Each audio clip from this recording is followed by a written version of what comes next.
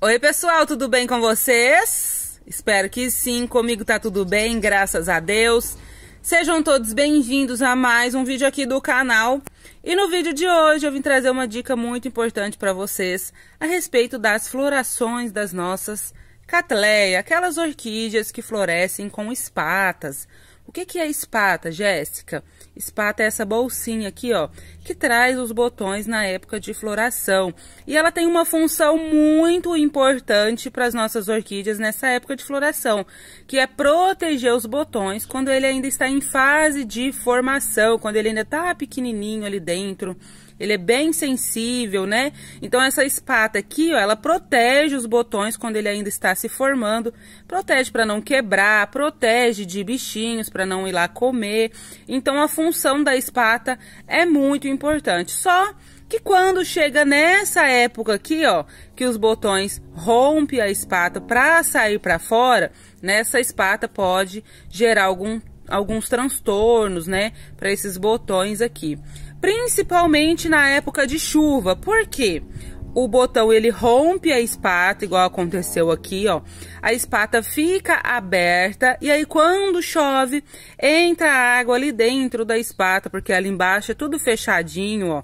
Então entra a água ali embaixo, ali dentro da espata, fica parada aqui embaixo e aí depois vem o sol, aquela água esquenta, pode acabar apodrecendo aí os nossos botões que estão ali dentro, né? Então a gente tem que ter muita atenção com essa questão. Quando a espata se romper assim, ó, a gente tem que observar e eu vou passar uma dica para vocês o que eu faço aqui para minha espata não encher de água quando ela está aberta assim. Quando ela está fechada fechada, ela fica assim, ó. Tá vendo? Fechadinha. Os botões estão aqui dentro se formando, ó. Então não tem risco nenhum, porque ela está totalmente fechada. Ó, ela está protegendo os botões que estão ali se formando. Mas quando esses botões estiverem maiores, eles vão abrir essa espata e aí pode é, essa abertura entrar água ali dentro e causar esses problemas que eu falei para vocês. E o que que eu faço aqui? Eu vou mostrar para vocês, ó. Quando ela abre assim, ó, tá vendo?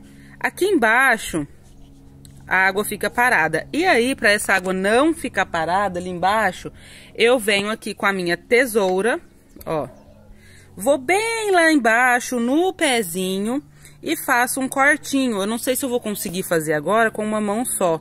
Faz um cortinho pequenininho assim na espata, ó. Bem aqui embaixo.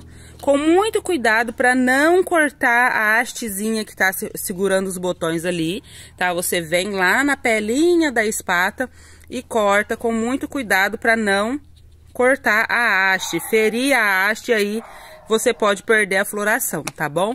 Eu não vou conseguir fazer agora com uma mão só, mas aí vocês vão conseguir fazer usando as duas mãos. Depois eu vou fazer isso porque tá chovendo aqui e tem água ali dentro da minha espata.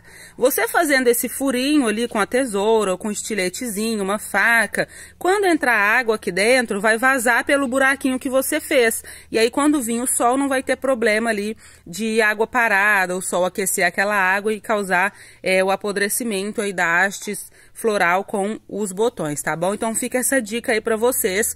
É, a sua orquídea, ela pode florir tanto com espata como sem espata, ou também com a espata seca, tá? Pode florir de várias formas aí. Não é porque uma vez ela floriu com espata que ela vai florir de novo, porque olha só, aqui ela floriu sem espata e aqui ela floriu com a espata, ou também ela pode florir com a espata seca. Vai depender da espécie aí da sua orquídea, mas como eu falei para vocês, a espata é muito importante para proteger esses botões aí na época de formação, né? Quando eles estão se formando, eles ficam bem sensíveis e aí pode quebrar, pode vir bichinho ali comer, porque quando eles estão novinhos, ele é bem molinho, né?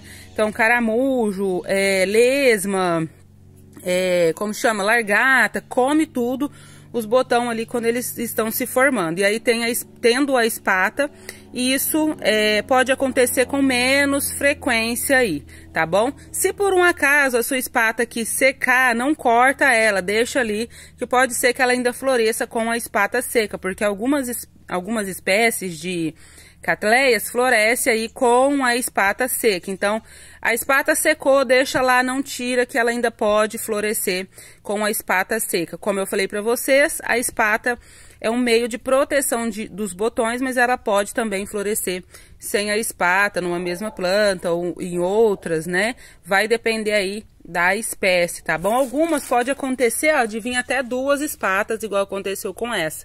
Uma espata menor ali dentro e outra maior aqui. Isso aqui dificulta os botões saírem aqui de dentro da espata, quando é duas.